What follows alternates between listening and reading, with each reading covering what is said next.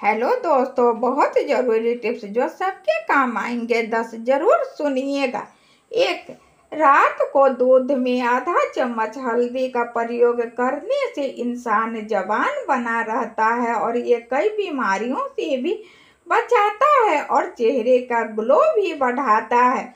दो, अगर गला खराब है और आवाज़ नहीं निकल रही है तो कच्चा अमरूद रोज जलाकर खाने से गला ठीक हो जाता है। तीन, यदि टेंशन से आपका मन भारी हो रहा है तो चॉकलेट या मीठी चीज़ खा लें।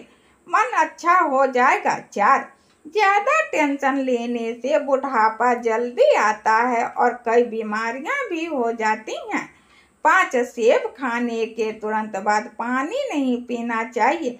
ऐसा करने से गले का कैंसर हो सकता है। छः आंवले का मुरब्बा खाने से कभी भी शरीर में विटामिन सी की कमी नहीं होगी। साथ यदि आपको पेशाब में जलन है या किडनी स्टोन है तो आप रोज नारियल पानी पीजिए, बहुत आराम मिलेगा। आठ गाजर, आंवला और चुकंदर, इनका जूस पीने से आँखों की रोशनी तेज होती है और स्किन भी ग्लो करती है। नौ चाय के साथ हल्दी कभी भी नहीं खानी चाहिए।